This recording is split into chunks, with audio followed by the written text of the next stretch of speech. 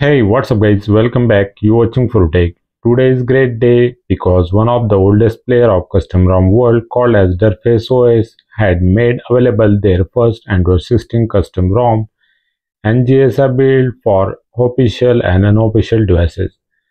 This is the first ROM which is providing custom GSI version for unofficial generic devices.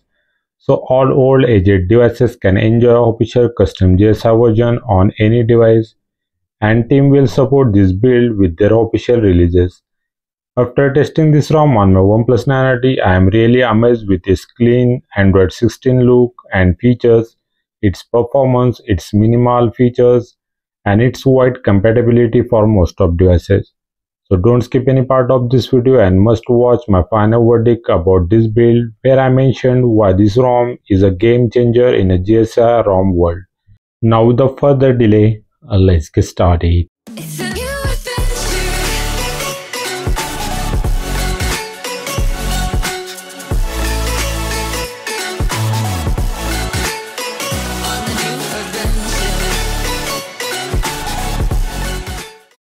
Any device can boot this build and to confirm if this build is fully stable on your device, I always recommend you to use DSU Loader installation. Its tutorial is given in iCard video.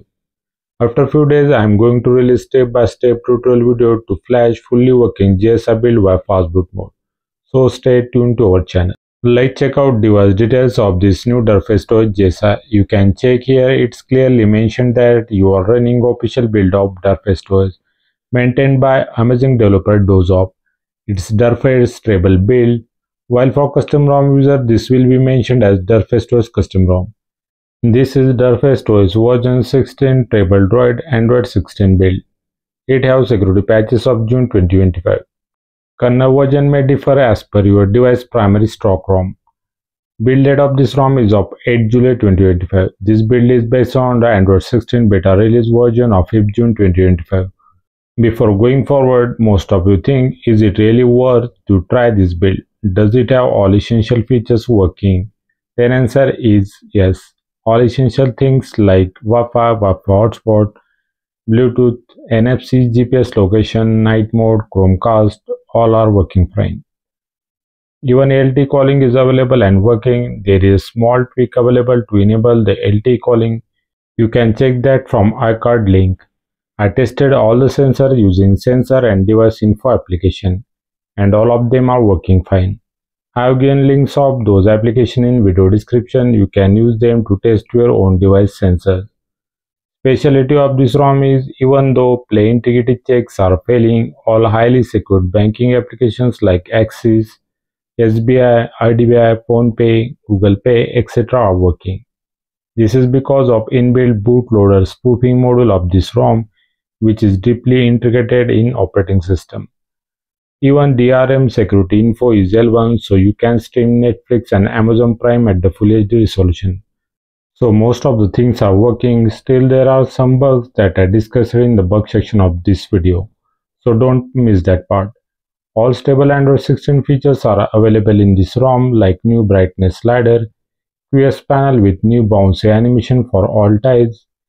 Even bug of QS panel for light mode is solved in this build which I found in almost all GSI-ROM, now light mode properly visible in a QS panel. QS panel have Android 16 notification look and new user interface of clear all button. It has new UI shortcuts like notification history and notification settings. Settings panel of DerpFest OS have its own look like all setting options are categorized in the different options like connectivity setting, personalization, security, etc. New Android 16 UI of on and off toggles is available in this build. Even who gets the new colored clock on always on display for lock screen. Android 16 battery information option is available in a battery setting which helps you to determine battery health of your device.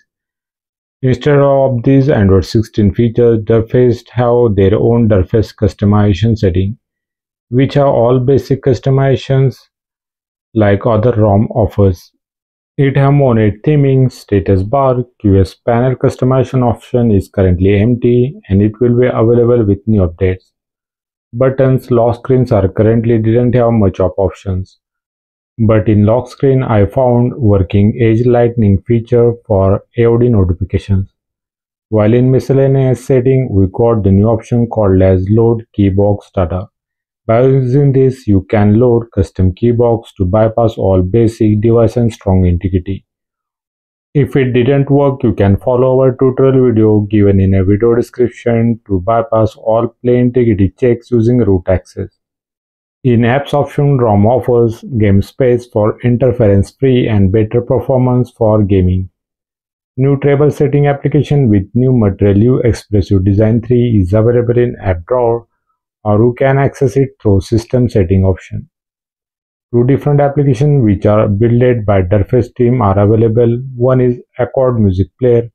It has Material You expressive design 3 look with new cool animations.